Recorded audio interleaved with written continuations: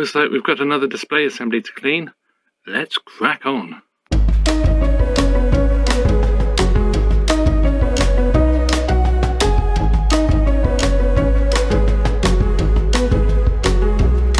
Hello and welcome to another Mr. Beta Byte video and this one's a little bit different insofar as we're looking at a Sony SL HF950. Uh, this is a PAL SECAM Ost um, version, so this is a French SECAM. Um, so yeah, it, don't confuse it with French SECAM. Uh, this is actually Austrian SECAM uh, standard. So yeah, this won't play back French SECAM tapes. So common mistake of, often made with these that it's it, it is French SECAM and it's not. Um, so this machine um, actually bought this off um, Alex. Uh, hi Alex, hope all is good with you. and here it is, it arrived. Um, and uh, yeah, it's a really nice machine. It's in great condition. Um, I have given it a clean, um, but uh, yeah, it's really very, very nice indeed. Um, I mean, it did need a pretty good clean. Uh, but uh, one thing I was wondering about, there's some strange marks, just very slight marks, like something's something was on top of it, sort of just across here. So I don't know what that was about, but uh, yeah, uh, let me know in the comments, I suppose. Uh, yeah, so this machine is playing dead. Um, I will do the standard checks, uh, you know, we won't be we won't be looking at the uh, mains plug because it's a Euro plug, so no fuse actually in the plug. Um, but we'll check the fuse at the uh, the front end there. But um, I am 99.9% sure that it's going to be the power supply. Um, it's going to be those two transistors in the primary side, and uh, one of those caps, if not both of them, will be bad as well. So, without further ado, let's crack on. Okay, so first look, um, it's got the right type of battery. It hasn't got the coin ones, which um, have a nasty habit of just leaking everywhere and rotting the board and the uh, the sled um, skate um, mechanism motor, uh, which is good. Fairly clean and tidy. Obviously, need a bit of a dust out. That's that's fine. Um, shows it's been used, which is always good. And uh, yeah, I think uh, it should be a very nice machine. Um, oh, you just see the drum there. There is wear there, but it doesn't look too heavy. Um, and the head chips on these are actually pretty pretty tough.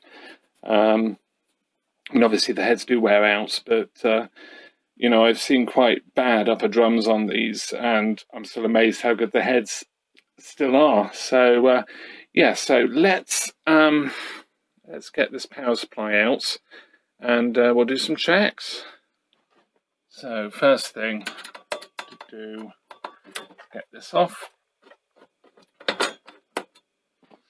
I know I've done this in other videos, but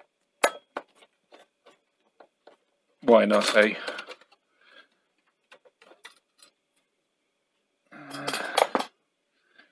And then two screws uh, on the side here. Just literally the one screw, which it is. And then two screws on the back. And then there's a screw here, which you probably, well, you can't see, but, but believe me, there is a screw here. and there it is. Um, so let's pull these off.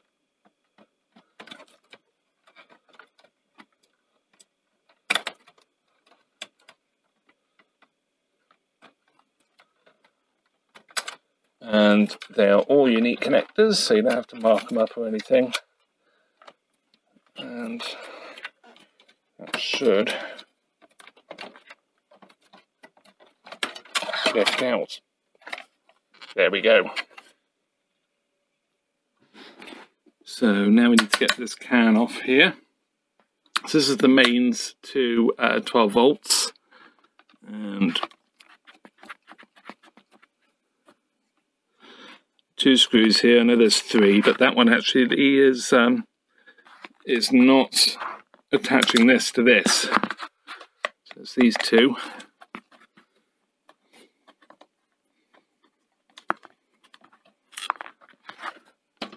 And then you do actually have to release this board as well uh, because there is a guide that um, screw there that actually locates onto this. And if you try and put it out without it, it can get a little bit uh, a bit nasty. So screw in the middle of those three screws and then a screw here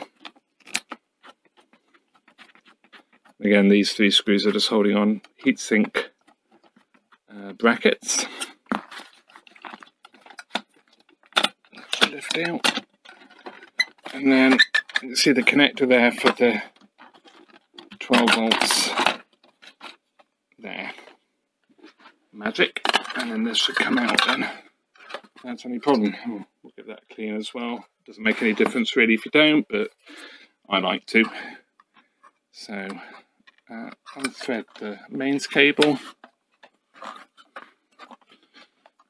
and um,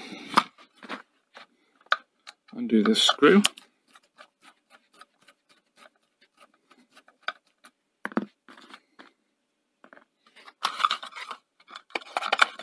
And this should push out.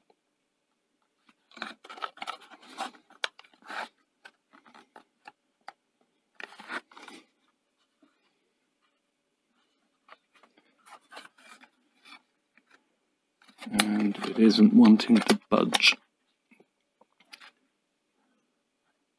at the moment. So, oh, it is. There we go. Just a bit, not a huge amount of heatsink compound on that, I have to say. So, um, there's the power supply in all its glory. Uh, a bit of dust in there, that's fine. Uh, so not too bad at all. And I'll give it a clean out. Uh, so there's the mains fuse.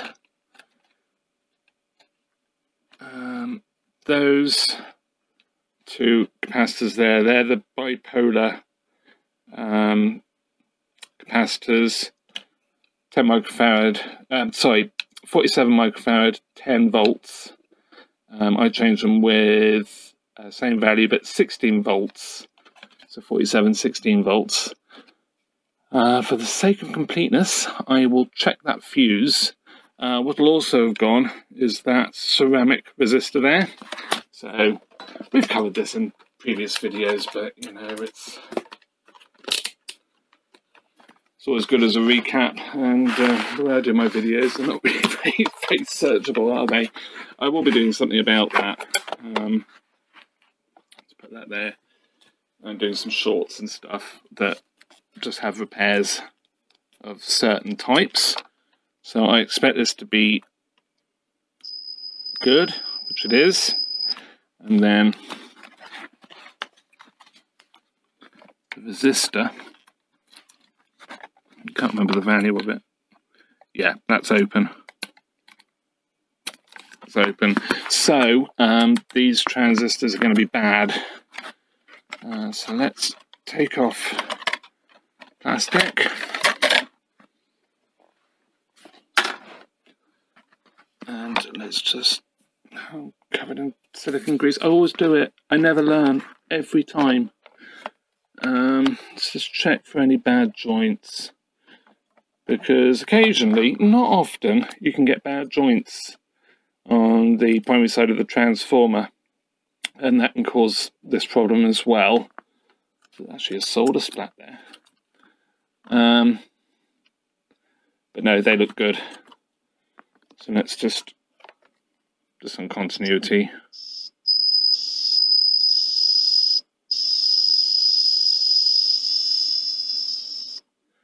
Gosh, that sounds bad. Have I got voltage on this still? I've been doing this with voltage no, I was going to say because they do have bleed resistors on them. Um, so I would be very, very surprised that I've not powered this up since I've had it. So Um, having spoken with Alex, I was confident I knew what was wrong with it. Um, so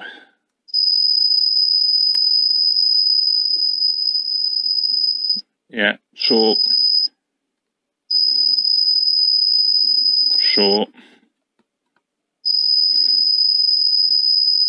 short, short. There's short there as well. Yeah, they're completely short across all pins. Okay, that's cool. So the next thing I'm going to do is take out those um, those two caps, and we'll just check what they're like. Okay, so caps are out. Let's test the first one. And that's reading okay. Um, ESR 3.3 ohms. Now I think that is too high. Um, you get squeal at like 2.4 ish ohms. Um, so yeah, it's obviously gone a little bit not great. Um, I would like to see one of these in less health than that, really. To confirm it is those, um, it is these. That one's actually okay. Um, it's not great, but it's okay. I'm still going with these being the problem. Um, and what's interesting as well is the ceramic resistor actually it's cracked. Um, and in there, it is actually just a standard resistor that's put into a sealed ceramic. So you see the ceramic cement there, sealed ceramic um, container, if you like. So, yeah, that's that's actually quite um, quite interesting. So it would have gone like that. It's interesting that it has actually cracked. But yeah, there we go. Half watt, 0.47. So, yeah, there we go. Um, I've also desoldered the two transistors, so um, yeah, I'll get and change those next. So this is a bit interesting. I took out the um, 4.7 microfarad 350 volts capacitor. This is actually the capacitor that's between uh, those two bipolar caps, uh, mainly for access. Um, but I have known this cause problems as well. And if I test it, it's reading a bit low. So it's 3.9, it should be 4.7. And um, ESR 0.97. Now, when I first tested it, it was a little bit higher than that.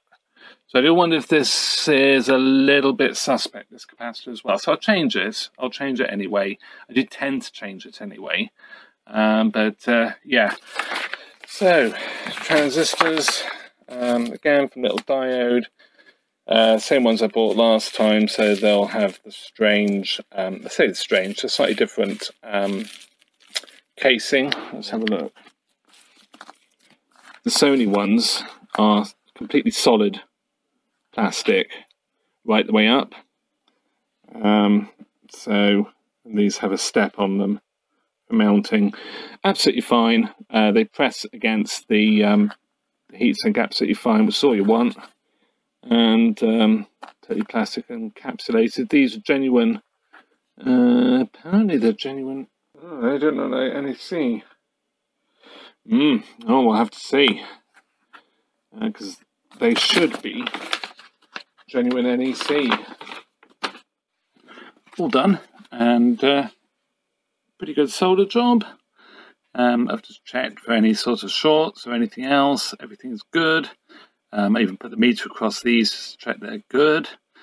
And they are. So uh, let's get this back together. So first thing is um, silicon grease. I, I've cleaned off the um, the heatsink and I'll put some heatsink compound. This is quite old now, but still does a trick.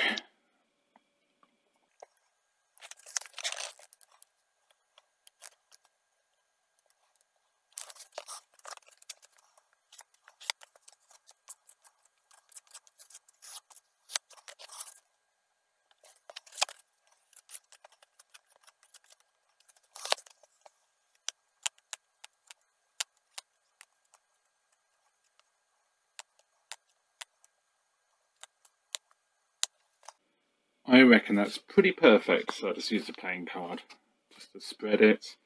Very thin layer um, because the contact is so good. And I'm wearing gloves just because that. Um, I will no doubt cover myself in lots of uh, heatsink compound. Um, so Let's put this back in here.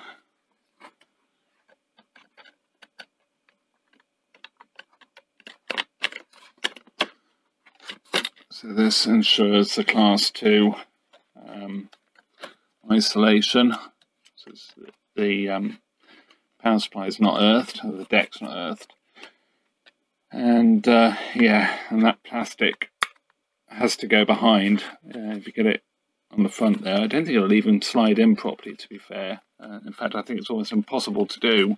And you'll also see that um, this part here is, is screened. Um, there is mains or high voltage here as well, all along here, so you don't want that near that metal can. So, metal can. And slide this in. There is actually a bit of silicon, um, some heatsink compound actually still in there anyway. That's fine. Not too worried about that. Slide that in. And just clean off that excess bit that's come off so don't get covered with it when we put it back together short screw, I think, memory serves me right, goes there.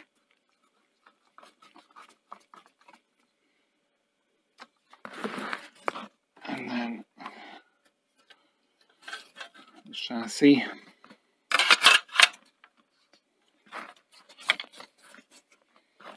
I was right. and then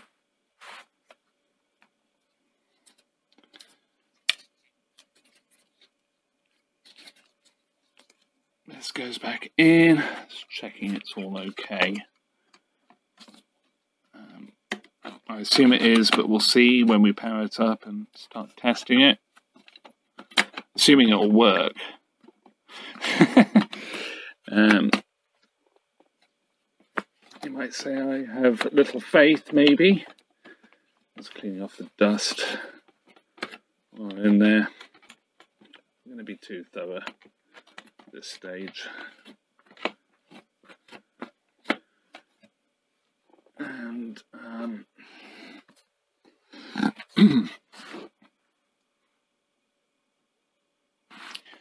so that's in. I'm just making sure that the, the PCB, I don't know you quite see, um, locates into the assembly there on the end of the, the, the can. So, longer screws.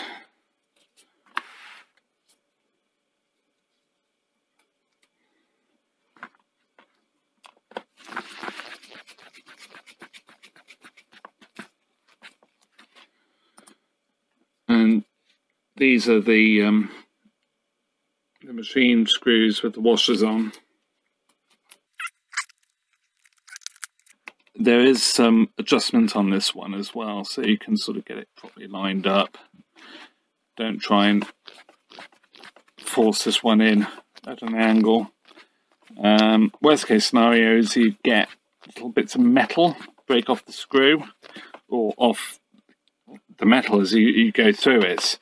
And uh, you don't want that rattling around your power supply. It's not, not a good idea. Um, and then we have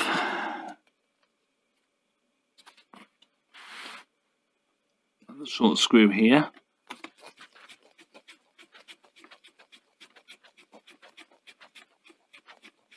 I think I've got that right. That's the way I usually put these back together. I should have really noted it when I took it apart. And then longer screw there.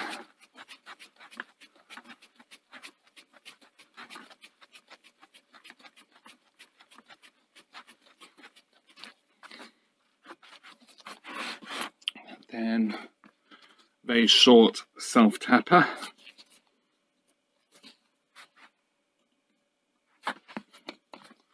And I might just clean that up. Clean. Should make a pretty good contact, I think.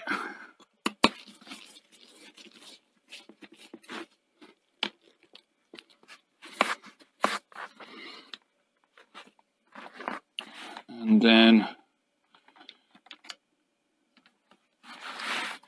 the bit I've done wrong is that mains lead needs to go under there. So I think I can get away with undoing these. Well, you do need to do this right because it just makes everything sit properly in there. But I think I can get away with releasing this, even though there's that uh, that guide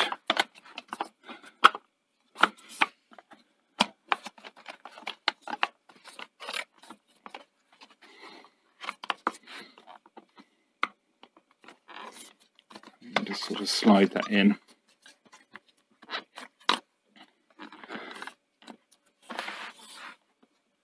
It's 50-50 whether I remember to do that. Um,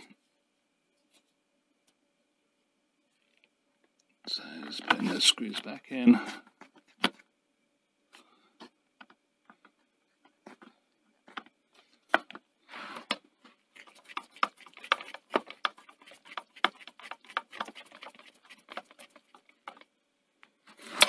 shorter one in here. Done it the other way round so I don't have to worry about adjustment this time.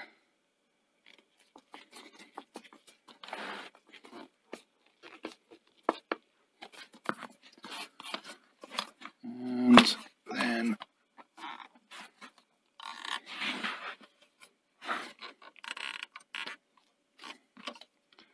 just tighten that back up.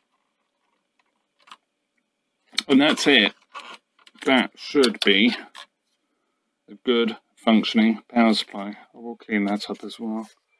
A quick one to think about it, and I have no, um, mentioned this in a previous video, but this foam pad here, this is actually for the um, to assist with the um, the transit screws. So the transit screw comes through the back there and locates in there, and that sort of is the damper for it then. But this is just um, a sticky pad. It's like double-sided foam. Um, sticks on there, and that can actually come adrift. And what I have found is when it does, it, it fouls the end of the skate, and it will cause this to not close properly. So it'll get a gap. So if you ever get a gap or it's not really sort of quite performing as it should, it is worth just checking that um, that pad. You see it goes, when it's fully in, it does go right the way up to it. Um, so it's a bit of a bump stop as well, I suppose. Uh, but yeah, it, it's sort of, when you put the transit screw in, it, um, it helps keep it nice and solidly sort of damped and clamped. So yeah, let's get the power supply back in all back together, um, no problem at all, slid in nicely, good job, cleaned, done stuff. So the next thing is to test it, I suppose. And uh, yeah, I'm sort of a bit 50-50 whether this is actually going to work. Um, I mean, obviously we've changed those caps. That one's rolled off. And they're all suspect, but they weren't terrible. Um, I do wonder if there's something else wrong with this power supply. Um, I think if there is no oscillation um, from the control circuit of the primary side of the power supply, I think it will just not start. It won't blow blow those components. So in theory, it really should work. Um, and I'm happy it's all back together as it should be. Um, no bad joints or anything, so it should work. But um, like I say, a, a bit skeptical. So um, yeah, let's plug it in, see what happens. Okay, so here it goes. It's on.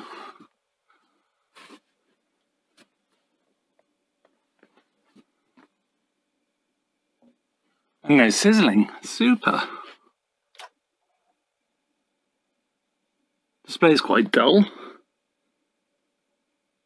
That's great. Uh, yeah, fantastic. Uh, VU meter seem okay.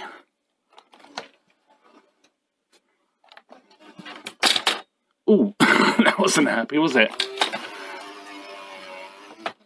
So try that again.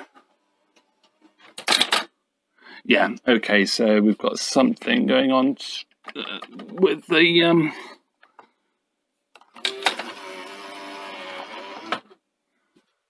the um, eject mechanism, but that's fine. Fantastic. So I'm going to leave this one here. Um, just a bit of a sort of how to do the power supply um, properly, how to get it going.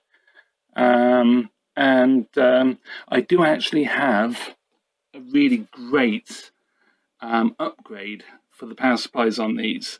Um, I've got three coming from the US, um, sort of power supply replacements, and I will feature that in a future video. It's it's it's really cool. Well, I hope it is. so with that, thank you very much for watching. Um, please like and subscribe, and I hope you enjoyed this one. Um, and uh, yeah, see you in another video. Bye for now you